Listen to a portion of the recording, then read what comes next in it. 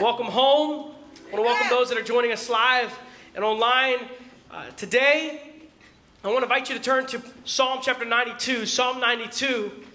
And we're looking at uh, just this one part message entitled Stop Going to Church. And now some of us are thinking, what does that even mean? Like, I'm here, I've, I've come to church. And, uh, and really, the whole the whole uh, premise to this is stop going to church and start, start being the church. Amen. God's highest calling in our lives was never to just go to church. God's highest calling for believers, those who have confessed that Jesus is Lord, believed in their hearts, and, and surrendered their lives over to Him as Savior of their lives, is this God's calling is holiness. But yet, so often, we live in a world that is all about me. And so, guess, guess what we pursue? And, and there's not one person in this room who hasn't pursued it, by the way, starting with me. But we pursue this idea of happiness. What's going to make me happy? Man, what's going to make me feel good? And it's all about me. It's all about me. No, no. As a believer and as a part of the church, God's calling on all of our lives is holiness. He's called us to be holy as He's holy. There's a different standard by which we live, and, and the standard is holiness. So, Lord, I want to be set apart. I just don't want to just, just fall to the standard of the world. I want to live by the standard of your word. So help us to do that. Teach us to do that. And I believe when we come to that conclusion, what happens is we, we do stop just going to church.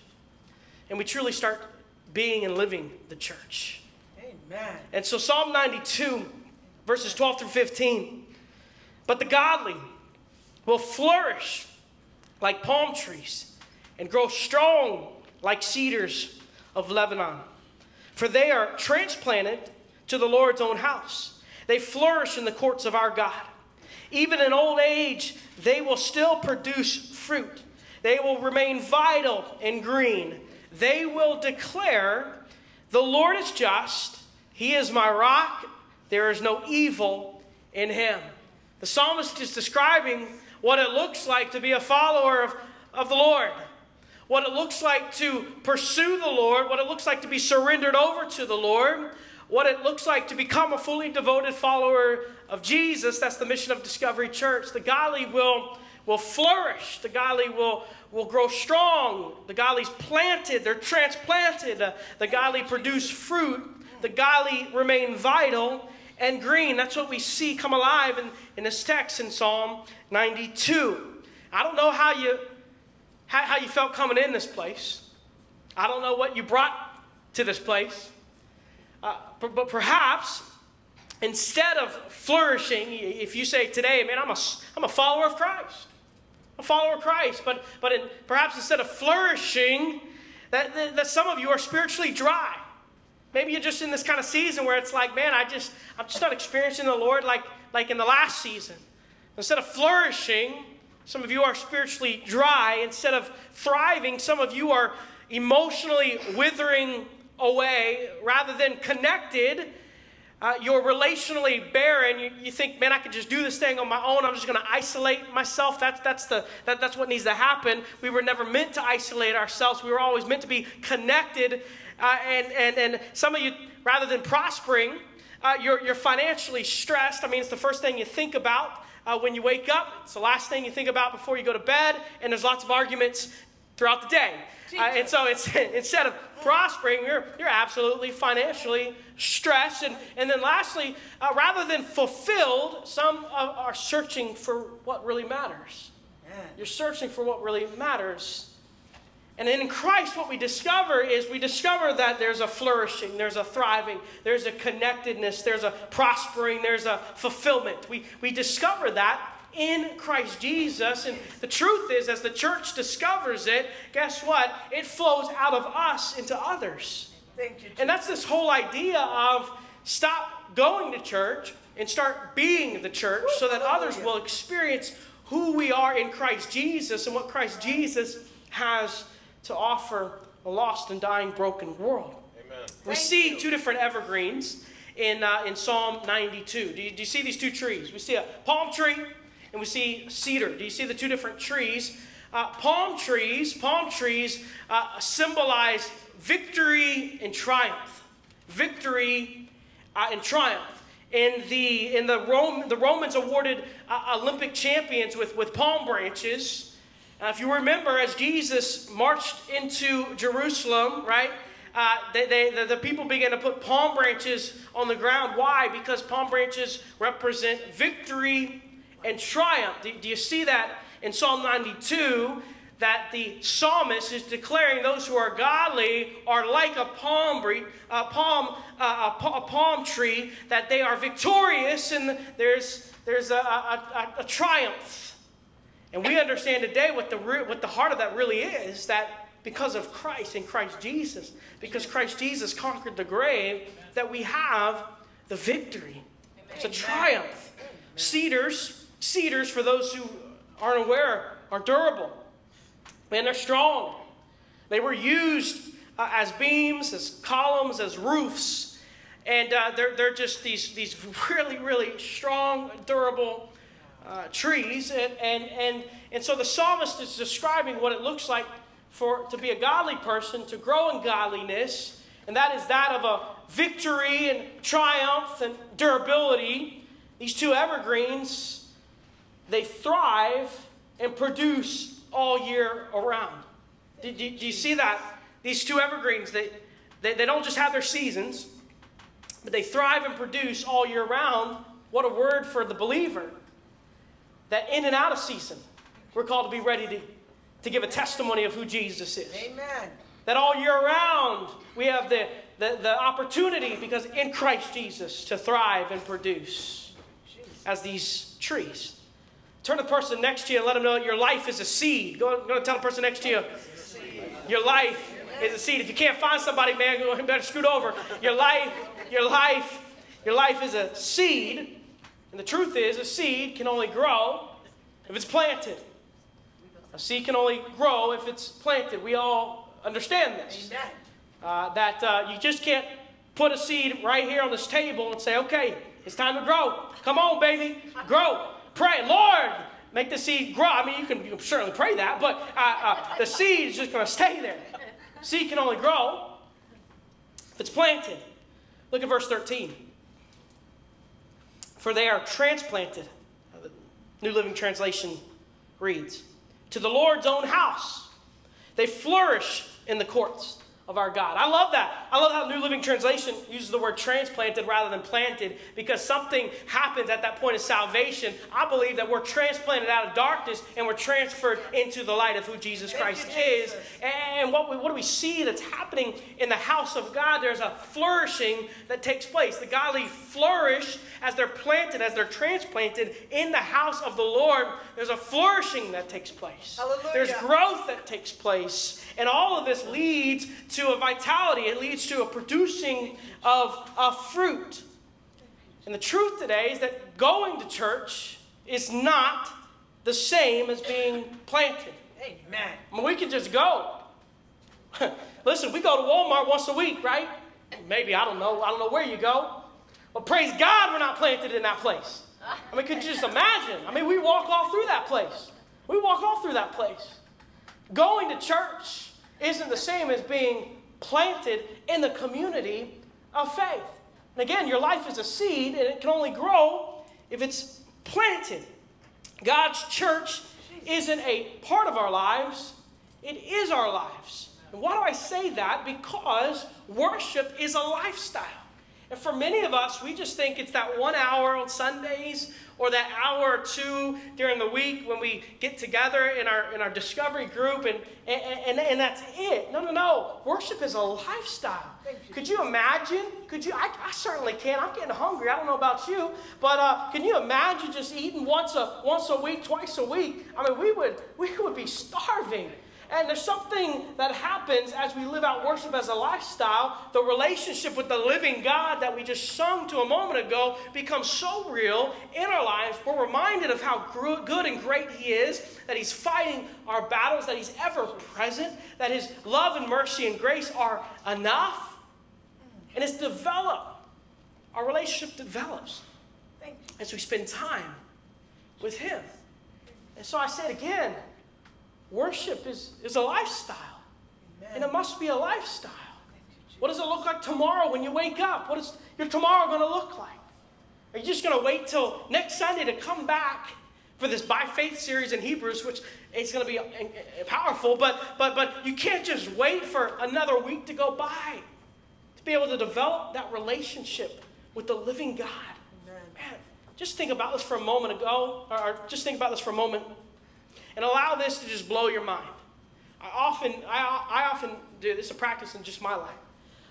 I, I, I just pause and I think, the creator of all things wants a relationship with me. You think about that for a moment. The one who has created all things and sustains all things wants to hear from me, wants to spend time with me, wants to embrace me, wants to remind me of that there's worth in him, that there's a calling on my life.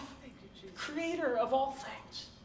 Just let that just blow your mind for a moment. And then put it in, put that into practice.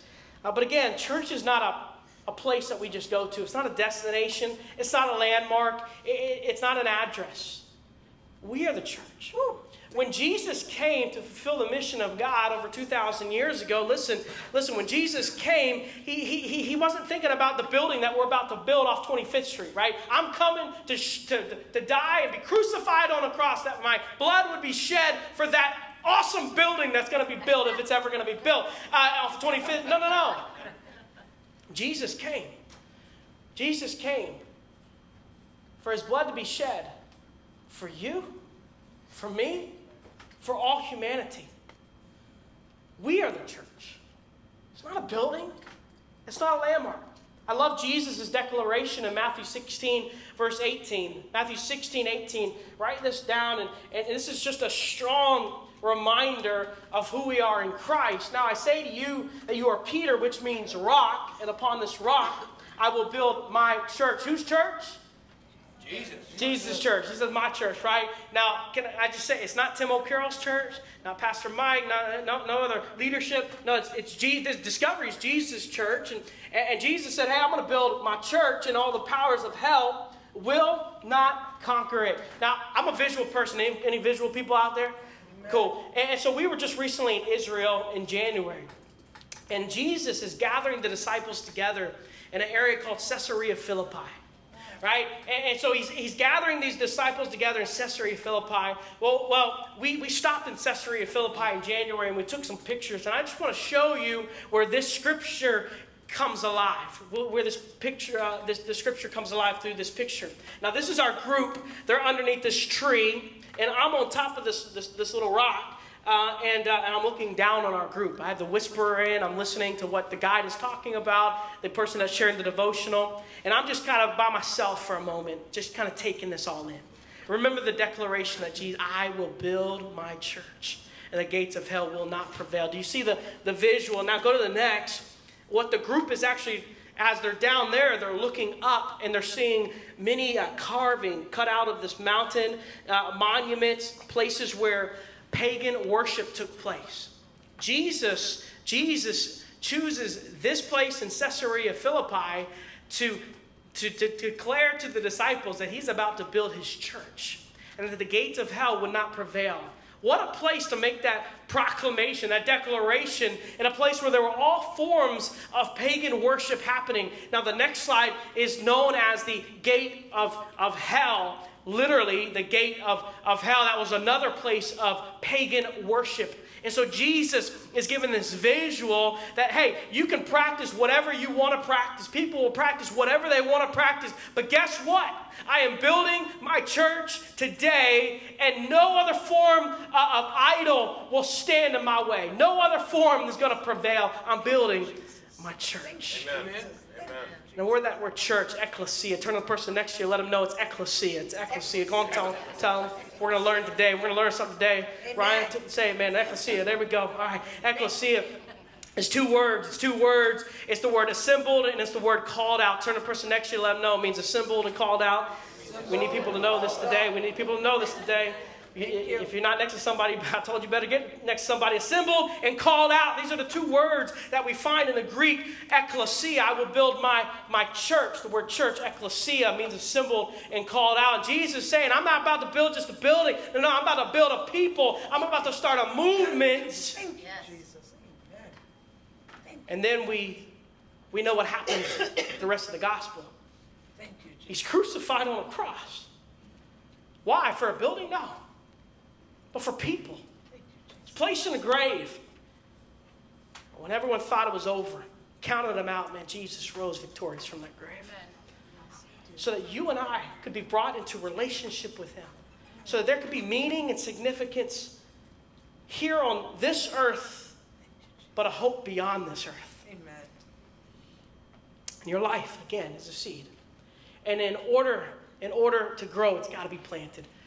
Turn to Jeremiah 17. It's on the screens. You can write this reference down, Jeremiah 17. And, and as, you're, as you're looking at this reference, I also want to encourage you to write this down. When you, are, when you are planted, your roots grow deep. When you're planted, your roots grow deep. They are like trees planted along a riverbank with roots that reach deep into the water. Do you, do you see the scripture? Yes. They're like trees planted along a riverbank. Again, this is a reference to the godly, those who are flourishing. You and I in Christ Jesus were planted. And as we're planted, the roots reach deep into the water. When you planted, your roots grow deep. A few years ago, my youngest brother, I have five siblings, three brothers, two sisters, and my youngest brother went and visited Redwood. Anyone ever heard of Redwood? Ever visited Redwood in, in, in California? And it, Redwood is home to the largest living organisms in the world. And that's a tree called a redwood. And this tree, the trees can grow up to 300 feet. And uh, the trunk can grow, uh, or they can grow as wide as 30 feet. I mean, it, it's pretty incredible.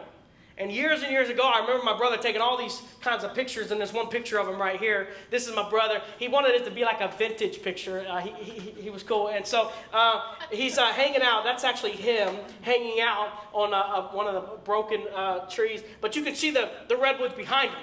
You can see those redwoods behind him. He visited. And uh, go, to that, go to the next slide. There's two, two, two pictures here. And that's a picture uh, of the redwoods. And then the next one the next one is, is the trunk, and, and you can see just how massive these trees are. How massive. Do you see how massive these trees are? Well, interesting thing about redwoods I, have learned um, is that they, they grow laterally uh, off of the trunks, and they intertwine with each other, and the reason is to help support one another. Wow. These trees, the largest organisms in the world, and, and, and they still stay standing because of the support from the other trees. This is what happens when you get planted and you're connected. You're able to sustain the trials of life, the winds as they come. We can learn a lot from the trees as God created. But one of the things we come to understand is when you're planted, your roots grow deep. The second thing is when you're planted, your roots produce fruit. Look at Jeremiah 17, Again, such trees are not bothered by the heat or worried by long months of drought. Their leaves stay green and they never stop producing fruit. Such trees, the, which trees? The trees that are planted. Not the, not the ones that have a desire one day. No, no, no. The trees that are planted. Such trees, such trees, they're not bothered by heat. They're not bothered by drought. And one thing we know about heat, there are fiery trials in all of our lives. Man, some of you are walking through some fiery trials right now. Amen. And can I just encourage you, man, plant yourself upon the solid rock who is Jesus Christ. And so, if you do that, one of the beautiful things is that you'll never be alone. That He is walking with you right now in the midst of your trial, whatever it may be. Other is we see this drought. No matter the no matter the, the, the, fire or the drought. Drought is, is a time when nothing's happening. I mean, have you ever been there? You're just waiting and waiting and waiting. It's like, Lord, is this thing ever going to shake? man, is this thing ever going to happen? And what happens in those moments? We, let's be honest. In those moments that all these thoughts begin to race in our mind, we begin to question almost everything. Sadly, some even give up. But what do we see in the scriptures? That those who are planted and their roots are growing deep, we see that they're not bothered by the heat, they're not bothered by the drought. And in fact, even in the midst of the heat and in the drought, they still produce. They still produce. They, they thrive and produce. They're not bothered. They're not shaken. They're not rattled. I want you to know today that the enemy is like a roaring lion seeking whom he may devour. He's come to kill, steal, and destroy. He wants to shake you up. He wants to rattle you. He wants to steal your joy. Uh-uh. You don't give him another step. Thank you, Jesus. Now you surrender. You continue, continually surrender over to the uh, lordship of Jesus Christ. That He is once again your rock and your protector. And you stay focused on King Jesus. Galatians 5 describes the fruits of the Spirit, describes nine different fruits of the Spirit. Nine different fruits of the Spirit. Scripture says, but the Holy Spirit produces this kind of fruit in our lives. Now, again, Paul's talking to the church in Galatia, and, and so he's talking to believers here. And he's talking to these believers, and he's saying that there's something produ- being produced in you and through you. There, there's a change that's taken place in your life because you've surrendered over to the Lord Jesus. And he's saying there's some, there's some fruit that's produced in your lives as you walk in Christ Jesus. And do you see, do you see right here love, joy, peace, patience, kindness, goodness, faithfulness, gentleness, and self control? It says there is no law against these things. He's producing these things in our lives. A lot of us don't, we, we, we I hear it all the time, man, I want to pray for patience. Because patience, patience is a thing of that, of the drought. You see that patience is a thing of the, it's like that drought. I, I, I can't wait no, no more. I don't, I know, Lord, no. So I don't want to pray for patience. Can I just tell you, as a follower of Jesus, developing a relationship with Jesus, one of the best things you could do is to, is to actually pray for patience. Knowing that He's going to give you the strength. He's going to give you the strength. He's going to give you the strength. He's going to give you the patience. He's going to give you the love. He's going to give you the joy. He's going to give you the peace. He's going to give you everything that you need because there's the development that needs to happen in our lives. See, the truth is this, church. The truth is this. We don't want to pray for the things that are going to make us a, a stronger spiritual giant. Often. I mean, just be honest with yourself. What would it look like, though, to just allow the Lord to develop you with the fruits of His Spirit? To make you into the man, woman that He has created you to be, and that He's called you to be. We, see it again in Jeremiah. Don't miss that. The trees that are planted and the roots that are growing deep, no matter the heat, no matter the drought, they are still standing and producing. And I believe that's what He's called us to do. Man, He's called us to remain and produce. That breaks my heart. I just want to be honest just for a moment. It breaks my heart as a pastor. Man, when I see somebody walking through a trial and they just give up and turn away. They just walk away from the church, and I'm like, I just, everything in me just breaks my heart. Breaks my heart. So I wonder today, what does it look like for you? Where are you in Christ Jesus? Are you planted? Are your roots growing deep? Are you producing fruit? One thing we've come to understand is that fruit is not just for you. Can we just look at this just for a second? Fruit is not just for you. Man, fruit's to share. uh, fruit is enjoyed by others, right? I mean, you could sit here and just eat it all day, but something happens. Uh, we were driving down the road the other day, and it's kind of cool story. And, and, uh, and, and, one of the girls says, Hey, can I have a piece of the apple that's in the front? We had some apples in the front. So I just said, Yes. And so next thing I know, I look back, and all three ladies, man, they're, they're enjoying and laughing about and as they're eating some, some apples. Fruit is not just for you. See, the Lord's producing it inside of you pour it out into others. And so, so don't miss this. Don't miss this. That love overflows. Man, that joy spreads. That peace is attractive. That kindness blesses. That faithfulness strengthens relationships. It's the fruit of the Spirit being developed in you and through you. And I, I just want to encourage you discover the thrill of being used by God discovered the thrill of being used by God. Going to say something else about this. You were not just saved from your sin. A lot of us, I mean, we, we, we just think it just start, stops right there. No, no, no. We weren't just saved from our sin. Man, we were saved from our sin and we were saved to serve. For the Son of Man came not to be served, but to serve and to lay his life down as a ransom for many. That's a calling in our lives to model the life of our Savior Jesus. We weren't just saved from sin, man, we were saved to serve. And I, would say this boldly, unapologetically. Listen and hear my heart and love is that if you can't get planted and produce fruit here within Discovery, get planted and produce fruit somewhere else. Listen, I, we're not trying to build the biggest church in the kingdom of God. We're trying to build the kingdom of God. Thank you, Jesus. That's it. So if you can't get planted and produce fruit, then let's sit down, let's have a conversation.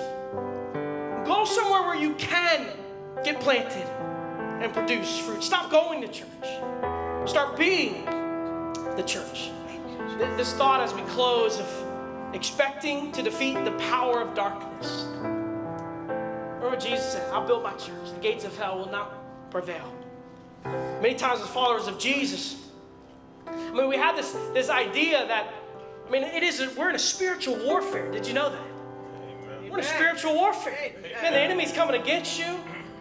The attacks, the enemy wants to pull you back in the darkness. And do we really expect that we can defeat the powers of darkness by just going to church once a month? Listen, ain't gonna happen. Ain't gonna happen. I mean, do we really expect to defeat the powers of darkness when we spend more money on coffee than we do giving to the work of the ministry? Woo, ain't gonna happen. Uh, do we really expect to defeat the powers of darkness when we spend more hours in one day on a social media platform than we spend an entire month serving in the local church? Say it. Church, it ain't gonna happen. It ain't gonna happen. That saint's coming after you strong. He wants to pull you back into the darkness. Jesus, listen, Jesus wants you to experience his light and to be changed and transformed forever. And then the development as you spend time with Jesus, the development that happens in you, flowing into someone else. Isn't that, after all, what the Great Commission is all about? Go make disciples that make disciples that make disciples. Baptize them, teach them. And some say, as we close today, some say, man, I've tried. I've tried. I tried to do this church thing. I tried to do this giving thing. I tried to do this serving thing. I tried to do all this stuff. It just didn't work. My response to this is we're talking about trees today. Trees don't grow overnight. I'm learning a little bit about growing trees, by the way, in our, in our property, in our home, on our home property. And I planted six trees. And today, uh, uh, two are successfully still living. And so uh, I feel like that's a pretty good number. I'm praying. I'm like, Lord, help this tree, man. Help this tree to live. but I'm learning a lot about trees. And in our minds, man, we want that instant thing. We want that, that we're, we're saying, Lord, I prayed for it once. Where is it? You know what I'm saying? It's like the genie, man. We went and saw Aladdin the other night. Not, okay, but, but uh, yeah, that, that's a lot of our perspective is, I got three wishes, right? but there's this thing of time. Trees take time to grow.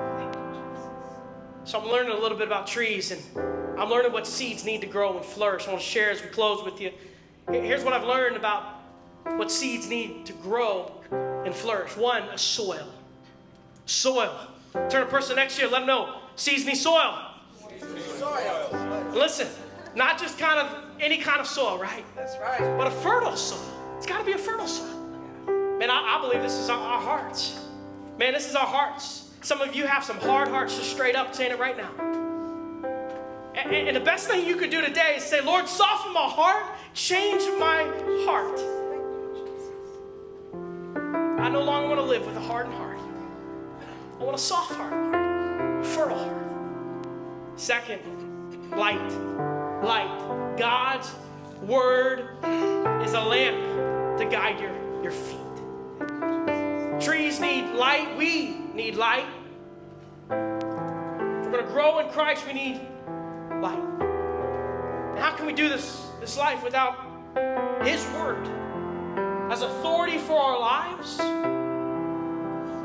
and guiding our paths?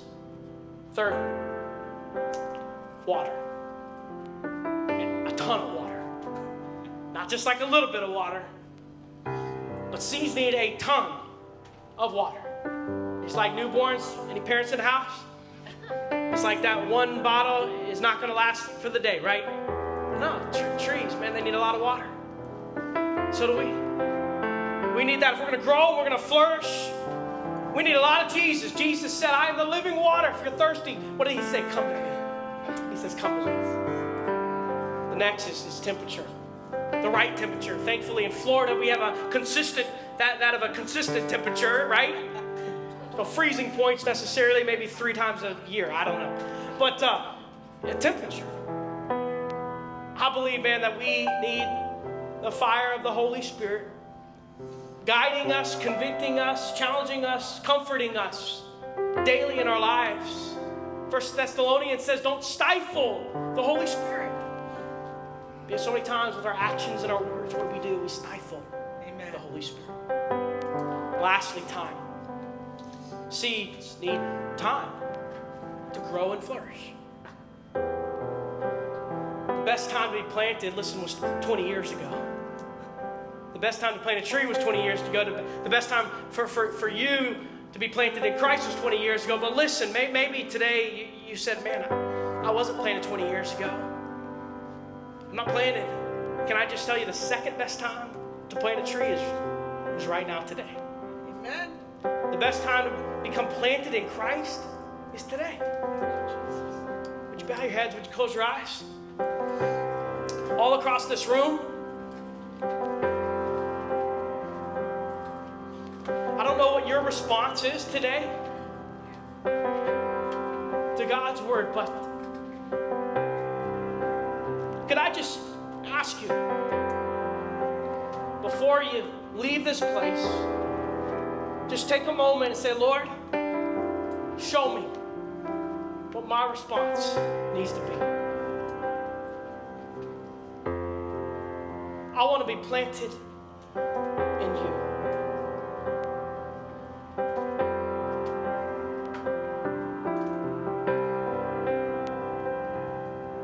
Some here today. You need to stop looking back on your past. Stop living in with the regrets and the shame. Surrender it all over to the Lord. And start living for Him. Start living for Him. As people are praying all over this place, maybe there's someone here that's never surrendered your life over to Jesus. And I want you to know that today that can happen. You can experience the salvation of the Lord today because of what Jesus has accomplished on and off of the cross. So, right where you're sitting, if that's you, you've never surrendered your life over to Jesus, as people are praying all over this place, Would you just say, Dear Jesus, I know that I'm a sinner and I need you to save me. I believe that you came to this earth, that you died on a cross, that you were placed in a grave, and that you rose victorious from the grave. I confess, Jesus, that you are Lord of my life. If that's you, right where you're sitting, would you just thank Him? Thank Him for saving you. Lord, we come before you, thankful for once again how good you are, for how much you love us, for the plan that you have for all of our lives. Lord, for the opportunity to be the church, to live out worship as a lifestyle, to be planted and produce fruit. And so, Lord, I pray that you would speak to all of us. Show us. Show us how. Show us our next step in being planted and producing fruit. It's in the name of Jesus I pray. Amen.